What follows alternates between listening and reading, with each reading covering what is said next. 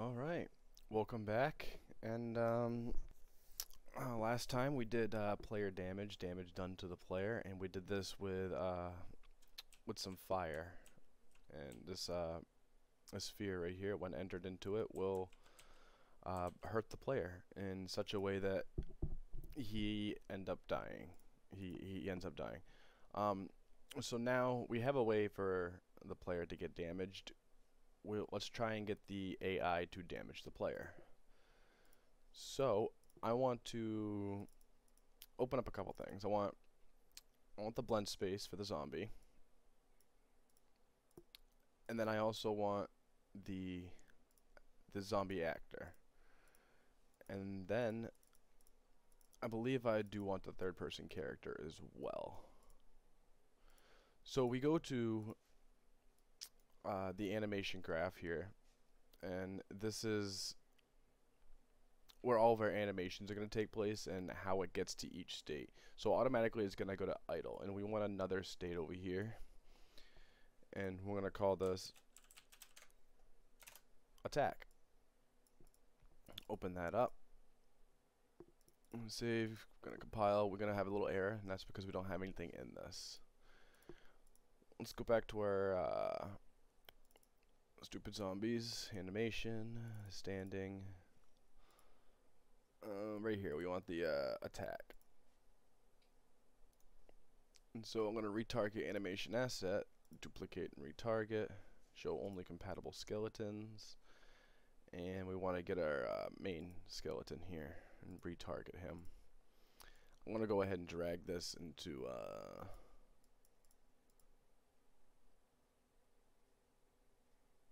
Alright, well we already have the attack, so didn't realize that. I'll go ahead and delete that. But we would put them in our zombie animation. So now we have an attack for an animation attack. And we're going to drag that out and plug it into the output, compile, save, and then we're going to go back into here again, into the uh, animation blueprint. And then we want to uh, cast to the basic zombie because that is the uh, thing that we want. And then off the object, we're gonna try to get pawn owner. So the owner of the pawn that is using the animation is going to be the reference. And as basic zombie, we're going to get, we actually don't have this yet. So we're going to go here into the variables and we're going to add attacking. Keep that as a boolean. Back over to the blueprint. We're going to get attacking. And then off of attacking, we're going to promote it to a variable. I'm going to compile. And that's labeled as attacking down here, same as this one here. Go to the state. The state machine. And we want idle to attack. We're going to bring out is attacking, get attacking. Because if this is true, it will enter the, uh, the transition back to the state machine. We want to be able to go back from attack back to idle. So we want to drag from this little outer box right here, drag that over to the idle, open that up, bring in your attacking, get, but except this time off of it, we're going to get not boolean and plug that in. So if attacking is not true, it's going to enter the transition to go back to the idle. So now we have everything we need inside of our uh, animation blueprint for now. And now we need a way for the zombie to start attacking the uh, third person character and the way that we are going to do this, I'm going to go ahead and move these out of the way. You know? I'm just going to get rid of them, just so they're not in the way. Move this up. And the way we are going to do this is we're going to create a little box right here. I'm going to do a box, my spelling's atrocious, box collision. We're going to rename this just so we uh, understand what box this is for. And this is um,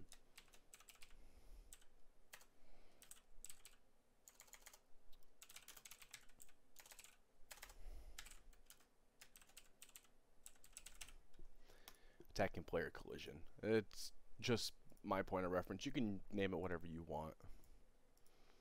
And we'll go ahead and we'll adjust it. And um, we're always going to be attacking, be attacked in front of the zombie. That's always going to be, I mean, we'll, we'll never be attacked in front. So we're going to go ahead and move it right here in front of the zombie. Um, there are other ways to do this, and we may go over it as well. We might have to transition into another way of doing it just to simplify things, but this is how we're going to do it for now. until we can, because um, right now we're just getting something to build off of.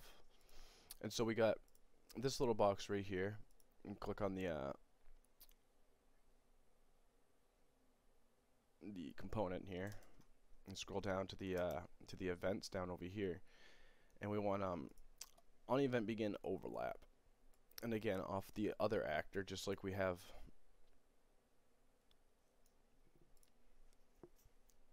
we have it somewhere. So on basic zombie, off the other actor, you want to do uh, cast the third person character because that's the character that we are overlapping. If that doesn't match, then this thing it won't fire off.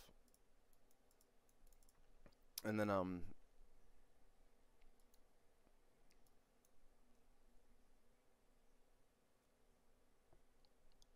Give me one second while I uh, try to remember. Ah, yes. All right. So grab attacking. We want to set attacking to true. So when he gets into this uh, state right here, into this uh, idle state, and maybe he comes to us, or we, you know, step in his range, he'll get put into attacking once we get within this box bounds here. And that'll set attacking. And then we're gonna again click it, the uh, the component over here, scroll down, we're gonna go end to overlap. We're just gonna copy this and paste it right down here below. Bring those into it. Except on attacking, we're gonna uncheck it. So when we leave that, it, it we're, we're we're saying that it cannot attack. So, AI walk. We're going to stretch that back a little bit, and we're going to do a, a branch. And we're going to hook up false, and we want to bring out attacking. Attacking is going to be the condition, so we don't want him to be able to walk around if he's in the attacking state, which is exactly what, what we don't want. So it's not going to do anything if it if it does that. So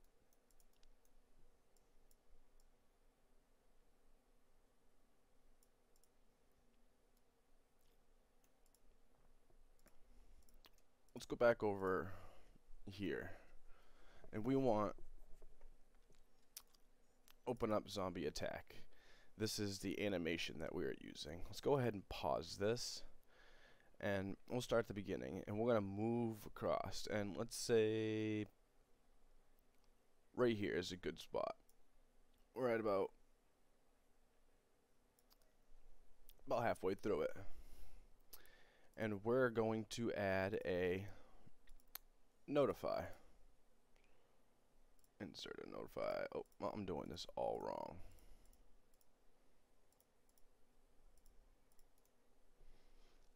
We want to add a notify. Want to right click on it and add a new notify.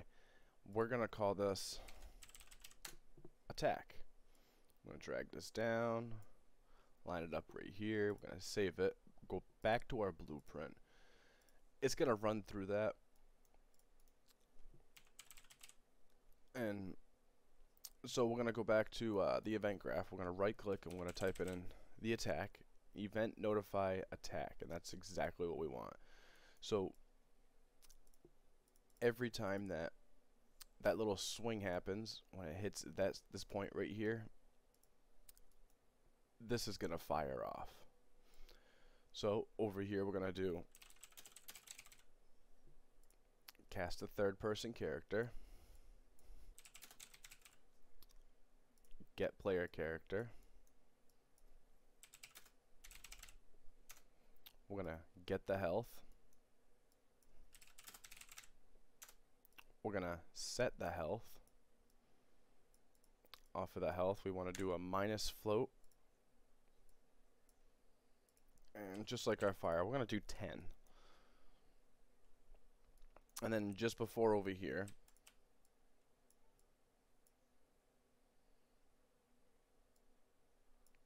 there we go. We're going to make sure that this can only happen only if you were within that box. And to make sure that happens is uh, right here in basic zombie, he can only be in attacking position if you are overlapping that box. And it's set here as well. And we got a little error right here. That's because this target needs to be plugged into third person character. Alright, so now we have a way for the zombie to uh, damage us, but we don't have a way for that zombie to uh, come at us for any reason. And so we are gonna we're gonna set we're gonna add a component over here and we're gonna use pawn sensing for this mm, pawn sensing is basically just senses you know it can he can see and he can hear uh, through this component here. Uh, this green line here is his uh, radius of sight. And we're gonna actually uh, we're gonna turn that down I think maybe about 45 degrees which is down here in the AI you scroll down to here in the peripher peripheral angle vision 45 so now that's his that's his angle of view. We'll go ahead and save that we'll go to construct uh, the event graph. And pawn sensing on the right side when you click on it you see on pawn C we're gonna go ahead and add another event for that. And when the pawn does see it we're gonna need to set a variable. And we're gonna call this one I'm gonna call this one ICU drag that out. And we're gonna set ICU to true well, uh, we missed a step. Yeah, let's grab one of these. And we'll go ahead and plug this right in. Because you need to tell it what pawn he needs to look for. And it's going to be uh, the third person character. So this is going to be the only character that this pawn sensing reacts to. And so now it's set to uh, I see you. Let's back up AI walk again. I want to add another branch. And this one is also going to be on false. I'm going to add in I see you. But this time, off of the true, we are going to do uh, AI move to.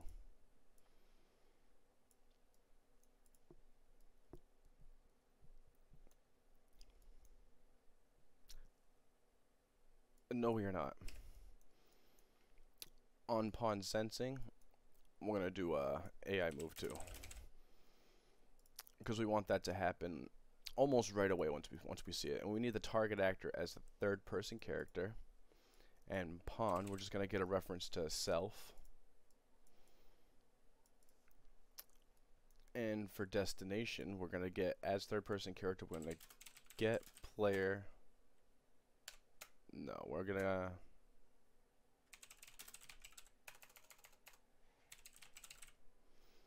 I'm gonna get world location of the player's mesh. Plug that right in. Let me tidy up a little bit.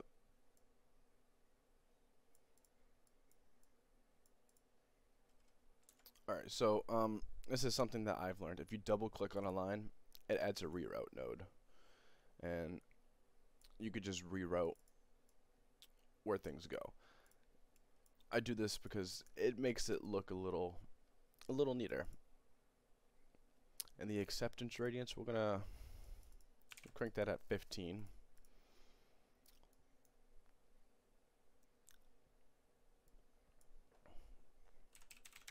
at a delay after the success. 0.2, let's just say, or let's just give it a, let's give it a 0.5. I'm gonna give it 0.5, and then we're gonna create a custom event over here.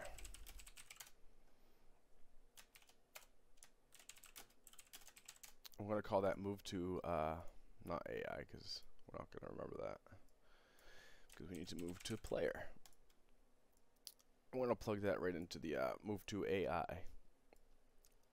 I'm gonna branch right here. And we want to uh, see if they are attacking. And if they are not attacking,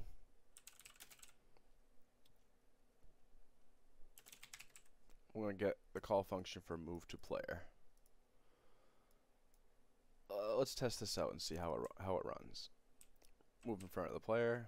He sees me coming up, and now he's swiping at me. You can see there's uh, some camera stuff going on here, and we'll uh, work on that later. And that there, we have a, uh, we now have the enemy attacking the player. Um, there is one thing I do want to do, and that's um, I'm gonna bring this pawn sensing back a little bit, and we're gonna grab the uh, character movement, bring it down. I'm going to stretch this out and we're going to we're going to set max walk speed. Drag this down, make it look neat. And right now we have it set at uh, 150. Let's go 400. And we'll try that out. And this, what that's going to do is that's going to set um, how fast our player is uh, how fast that player is moving. And we want it, I want it to go a little bit faster uh, when the character has been spotted. Back that up. Alright. Compile, save, we'll play. We'll run in front of the character. And now he's running faster. Now he's swinging at me. Alright, go ahead and take a good look at this. Um, it's uh, everything's relatively straightforward. Uh, we'll be getting to more complicated stuff at some other point. But um, we'll go through and we'll fix up some of the bugs later. Uh, let's just, we're going to try and get some of the more important information in there. And then kind of work on everything all at once with the, with the whole bug fix. And so I really do hope you and uh, you enjoyed this one. I apologize it's a little short, but uh, I'm uploading I'm uploading two today to make up for the lack of uploads. Um, if you uh, want to see more, just uh, let me know. Uh, tell me what you want to see, and we'll eventually uh, work through the list.